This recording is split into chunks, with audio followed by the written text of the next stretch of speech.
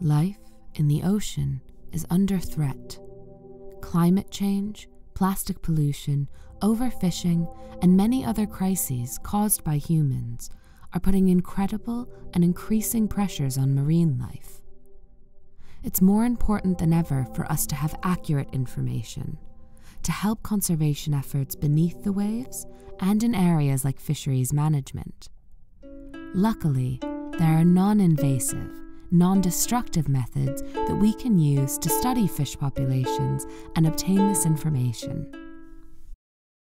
When researchers study fish populations, especially in coastal regions like coral reefs, they tend to be looking for a few key pieces of information. What species are present? How many of them there are? And how big they are? If we don't know these three things, our understanding of fish ecology and our ability to best manage fish populations is severely limited. The traditional way to get this information is with an underwater visual census, or a UVC, which involves scuba divers swimming along a predefined route known as a transect with a slate and pencil noting down any fish they see and estimating the length. But estimating the type, number, and size of every fish you see while swimming along a transect can be very challenging and requires a great deal of training to make sure that a low number of errors are made.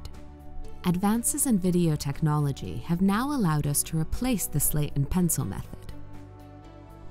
The diver operated stereo video method, or stereo DOV, gives us a more accurate snapshot of fish populations. It also lets us collect data on the abundance, size, and behavior of fishes at the same time. But what is stereo DOV? What makes it a better method than UVC? And when should you use it? A stereo video system uses two cameras that are slightly angled towards each other so that the fields of view overlap. In marine environments, both cameras are attached to a rigid base bar and carried by a single diver. As the diver swims along, both cameras record what's happening in their field of vision. The overlapping recordings let you calculate highly accurate estimates of the length of fishes without having to estimate or physically catch and measure them. This method is easy to learn and use for anyone who can scuba dive. You don't need extensive training, and because the cameras are doing the work of spotting the fishes and the identification and size estimations are done later, you can collect a lot more data. Collecting video also means that you have a permanent record of each fish you've seen. You can spend time making sure that your identifications are correct, or even send the footage to another expert to check. Having video footage also allows you to extract information on things like habitat type and fish behavior too.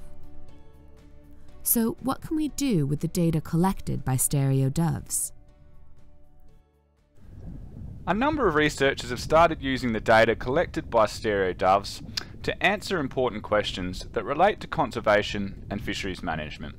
For example, if we survey inside and outside of a no-take marine reserve, we are able to determine if there are more fish within its boundaries and whether or not these fish are larger.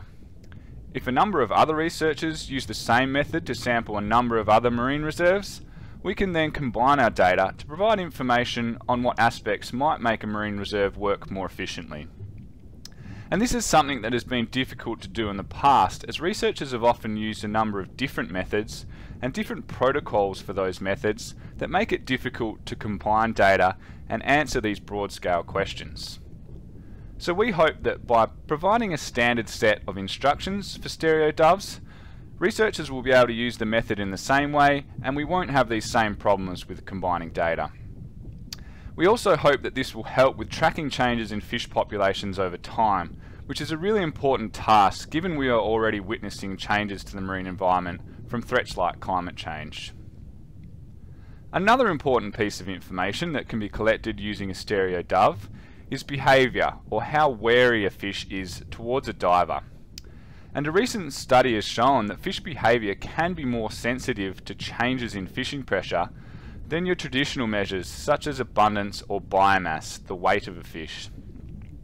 And this means that by measuring fish behaviour, we may be able to detect impacts on fish populations more rapidly and therefore respond and implement changes to management more rapidly.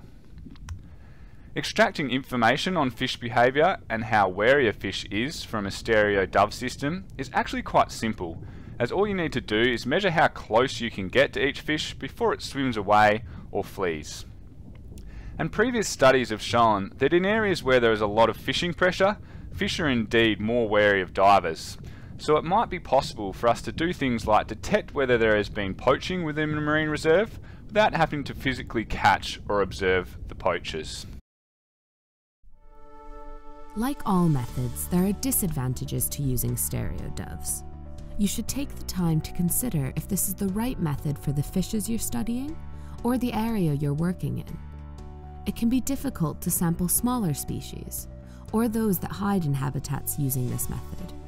And in areas where there's a lot of spearfishing, fish may avoid divers altogether. You need to factor in the time it takes to watch and analyze the videos that you've recorded. Stereo DOVs can provide accurate information on fish abundance, size, behavior, and habitat. They're a great tool to collect information on fish populations that can be used for fisheries management and conservation strategies. With advances in technology, these methods are only going to become more efficient and accurate in the future.